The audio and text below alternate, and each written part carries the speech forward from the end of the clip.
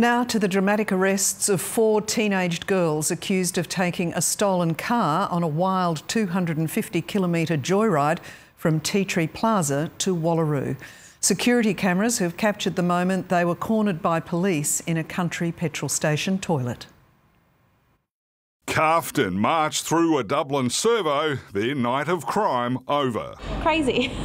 You just get a bit of like an adrenaline rush because you're like, oh my God. Police had warned staff the stolen Mazda was heading their way, and sure enough, just after 8.30 it pulled into the petrol station on Port Wakefield Road. With police in pursuit, three of the teens got out and scrambled into the servo. As officers arrest a fourth girl in the car, the other three run to the back of the shop hoping to escape.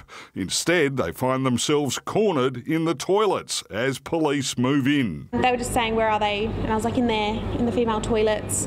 Um, and they were just yelling, like, get down, get down. Handcuffed, the girls are then ordered into the dining room for questioning. Police allege they stole the Mazda from the Tea Tree Plaza shopping centre yesterday afternoon.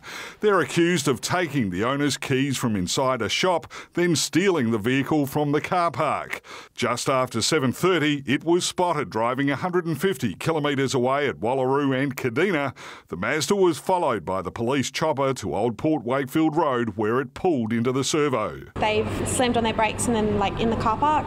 Three have gotten out, they've all run inside, so by that time I've realised that it was the stolen car. The girls aged 15, 16 and 17 were also in possession of alcohol. All four teens have been charged with illegal use of a motor vehicle and will face court in July. Peter Caldecott, 7 News.